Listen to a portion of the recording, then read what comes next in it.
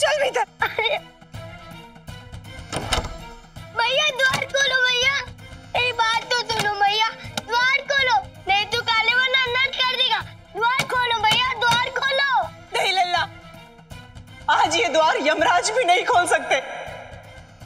क्योंकि इस द्वार की पहरेदार एक मैया है। भैया इस अनाथ को रोकने के लिए मुझे कालेवन के पास जाना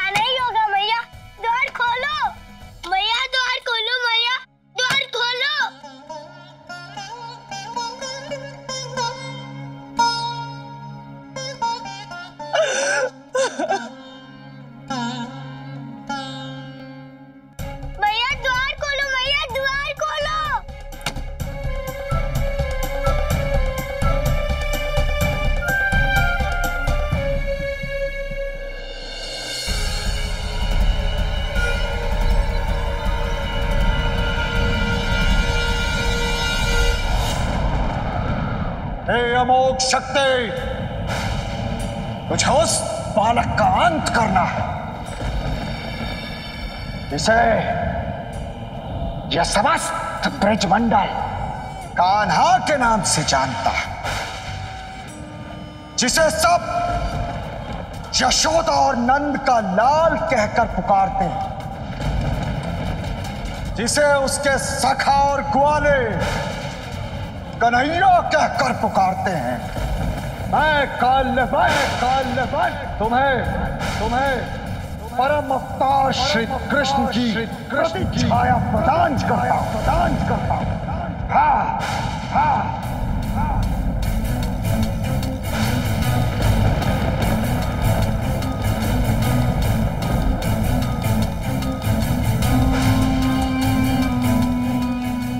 अमोघ शक्ति विष्णु का वो परम अवतार इस ब्रिजमंडल में जहाँ कहीं भी हो इस समस्त ब्रिजमंडल के साथ साथ उस परम अवतार का विनाश कर दो। विनाश कर दो।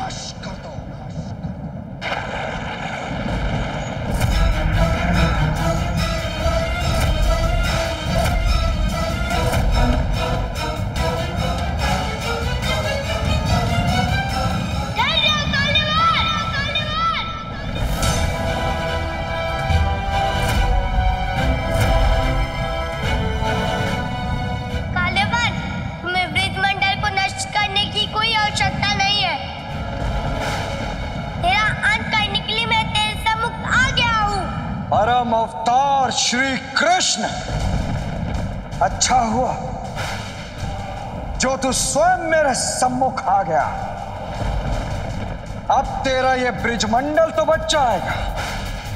किंतु काल्यवन के इस अस्त्र से ब्रह्मा, विष्णु, महेश कोई भी नहीं बचा पाएगा।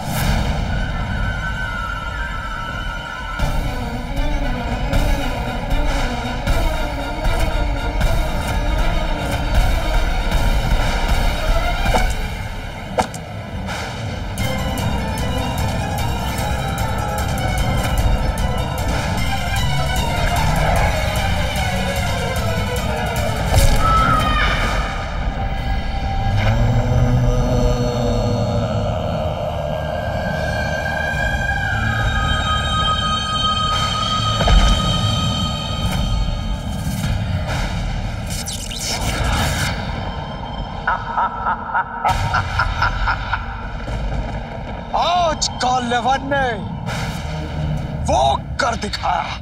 जो इस समस्त ब्रह्मांड में, इस संपूर्ण सृष्टि में कोई भी नहीं कर पाया। आज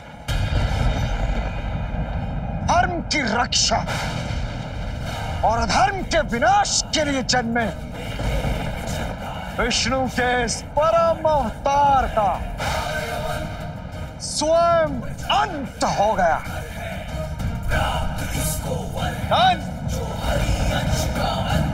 आज तेरा और काल्यवन का प्रतिशोध पूर्ण हुआ।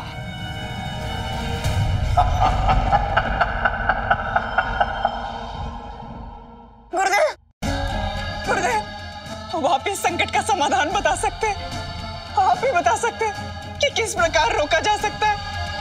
काले वन की अमोघ शक्ति को।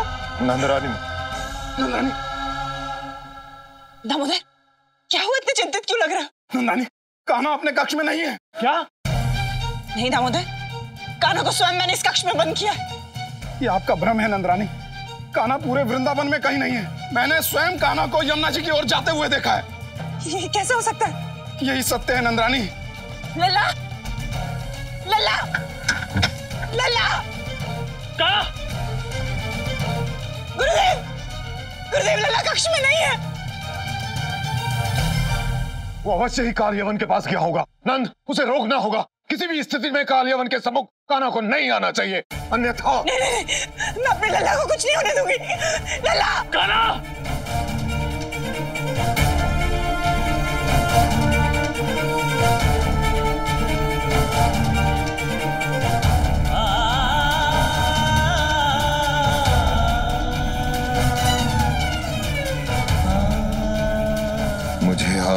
हो रहा है।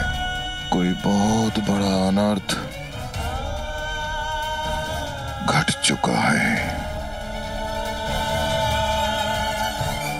मुझे अपनी योग शक्ति से जानना होगा।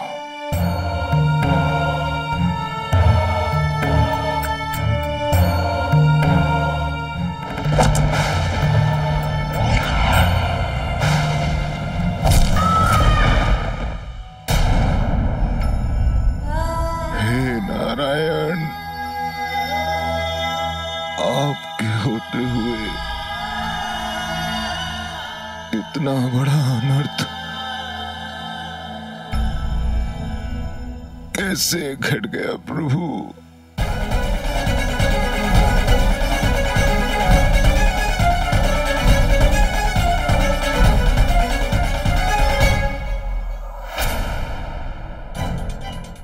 ये क्या? ये तो मैं हूँ।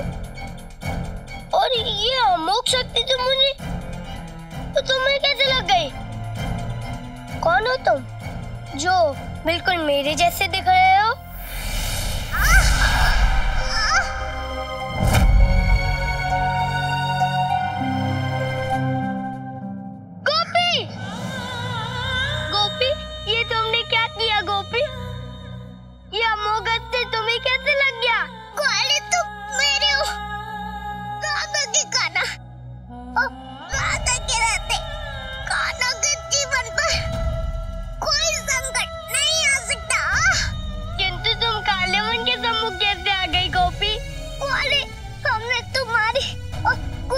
गुरुदेव की बातचीत सुन ली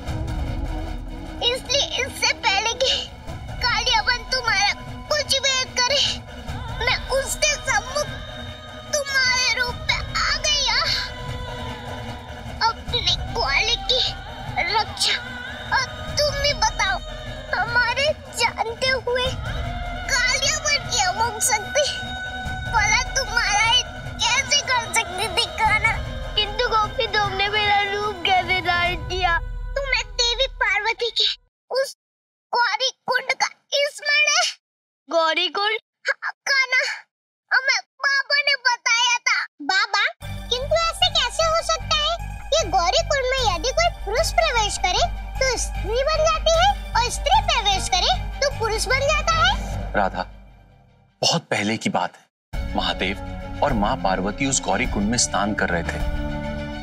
तभी एक असुर ने उन्हें देख लिया और क्रोध में आकर माँ पार्वती ने श्राप दिया कि आज के बाद यदि कोई पुरुष इस गौरी कुंड में प्रवेश करेगा तो वो स्त्री बन जाएगी।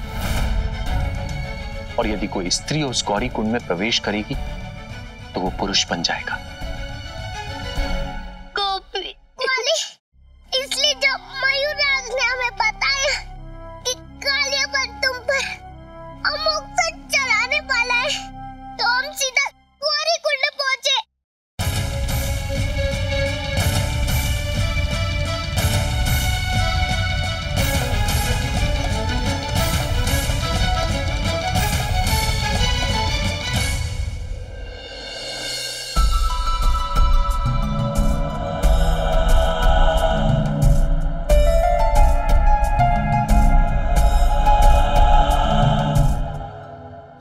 पार्वती, अपने ग्वाली का जीवन बचाने के लिए हमें आपके इस गौरी कुंड में प्रवेश करना होगा, माता। इस पूरे संसार में केवल कान्हा ही है, जो हमें सबसे अधिक प्रिय है। वह हमारे मन और हृदय में बसता है, माता। इसलिए जब भी हमें पूर्ण रूप में देना तो काना के ही रूप में देना, माता। हमारे ग्वाले की रक्षा करने में हमारी सहायता करना माता।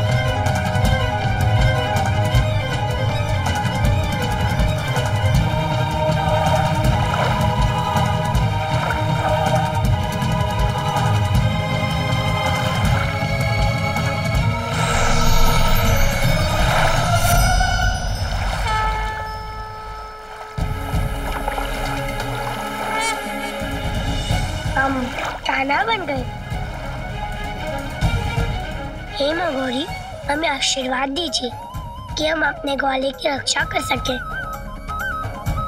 देख लो ग्वाले तुम्हारे लिए आज हम हमसे तुम हो गए। किंतु गोपी तुमने ऐसा क्यों किया? मेरे लिए अपने प्राण क्यों संकट में डाले? क्यों? तुमसे ऐसा किसने कहा कि हमने ये सब तुम्हारे लिए किया? हमने जो भी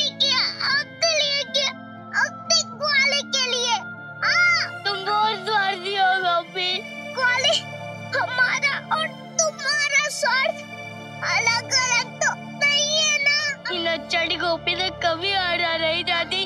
पर बोले ग्वाले तो कभी भी हमसे जीत नहीं सकते। जीत तो सदा हमारी ही होगी। हाँ हाँ गोपी ये तुम्हारी ही होगी। ग्वाले हम जानते हैं सदैव तुमसे झगड़ते रहते हैं। कई बार यशोदा काके से तुम्हारे कान खिंचवाए हैं। सके तो इस नकचड़ी गोपी को क्षमा कर देना ग्वाले। आ! नहीं गोपी भूल तुमसे नहीं अभी तुम मुझसे हुई है मेरे कारण तुम्हारे जीवन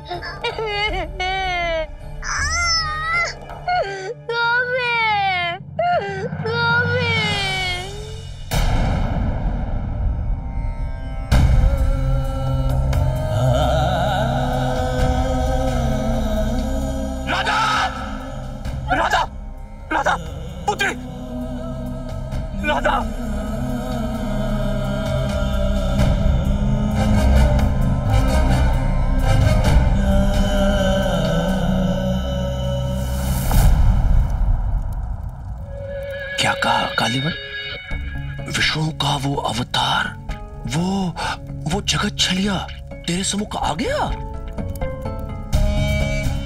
केवल पुकारने से?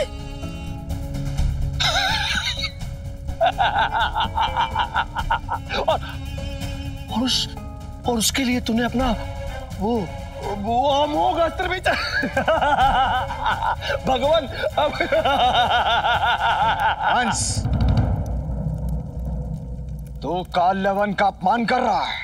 अपमान ना तो मैं तेरा कर रहा हूँ और ना ही तेरे उस महादेव के अमोघ अस्त्र का। मुझे तो केवल हँसी आ रही है तेरी मूर्खता पर। इसी मूर्खता का लाभ उठाकर उस छलिए विष्णु ने तेरी सबसे बड़ी शक्ति, तेरे अमोघ अस्त्र को व्यर्थ कर दिया। तेरा इतना दुस्साहस कि काल लवन को मूर्ख कहे।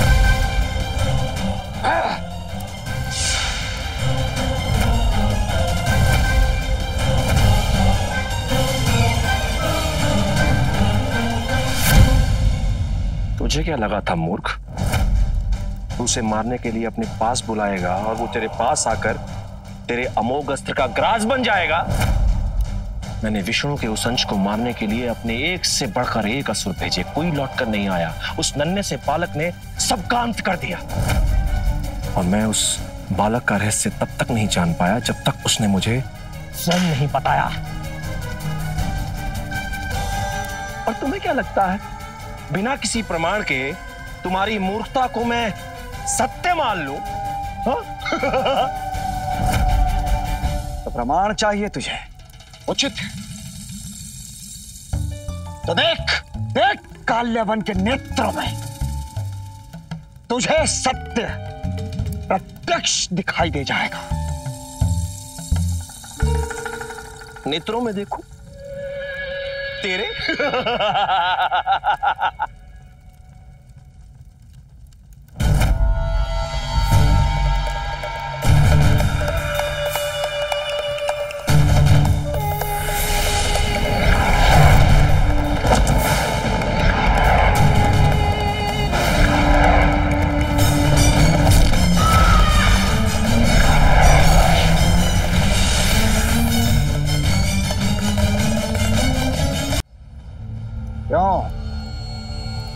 विश्वास हुआ? नहीं हुआ। आँखों देखी प्रत्येक बात सत्य नहीं होती। अमोक मार दिया। उचित कहा तूने कंस। समझ गया काल्यवन कंस तेरी समस्या इस समय यह है कि तुझे विश्वास ही नहीं हो रहा है कि तुझे मारने वाला मर चुका है। उसे कोई मार सकता है। क्योंकि यदि तूने इस सत्य को स्वीकार कर लिया तो तेरे जीवन का उद्देश्य ही समाप्त हो जाएगा। उचित है। छल। छल वो नन्हा सा बालक नहीं, अपितु। तू कर रहा है कंस, वो भी स्वयं के साथ। काल्यवन ने तुझे दिया हुआ अपना वचन पूर्ण किया है, और चाहे कुछ भी क्यों ना हो जाए काल्यवन कभी अपने वचन से पीछे नहीं हटता।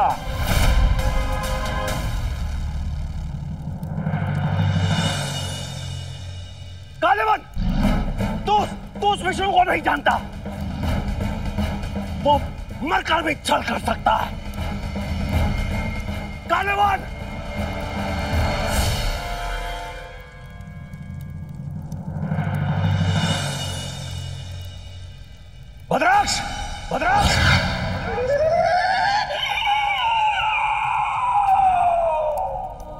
आज्ञा भगवान कंस। वृंदावन जाओ। और जाकर देखो कि छल क्या है और सत्य क्या। भगवान अभी दूध को दूध और पानी को पानी है जाएगा। और फिर भद्राज है ना दूध से दही और दही से मक्खन तो हो ही जाएगा।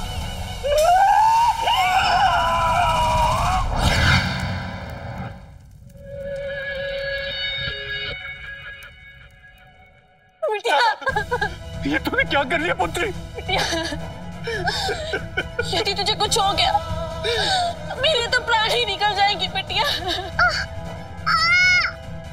मैया बा- बाबा आप रो, रोइए मत। अपनी पुत्री को प्रसन्नता पूर्वक विदा कीजिए मैया बाबा। नहीं नहीं पुत्री तू ऐसी बातें मत कर। तुझे कुछ नहीं होगा।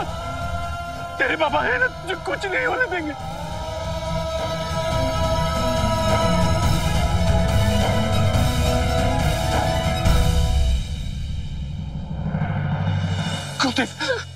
गुरुदेव गुरुदेव, कुछ कीजिए, गुरुदेव।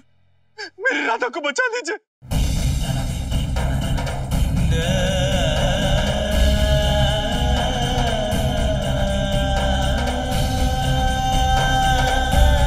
राधा पर अमोघ शक्ति का प्रहार हुआ है वृषमान अब तो केवल नारायण ही कुछ कर सकते हैं।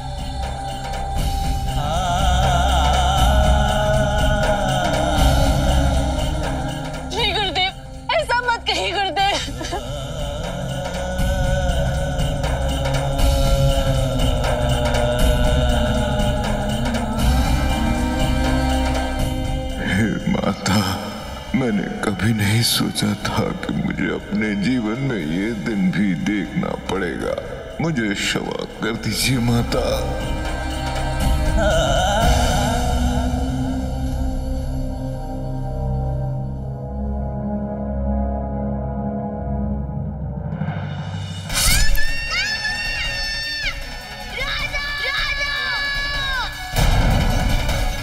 राधा नहीं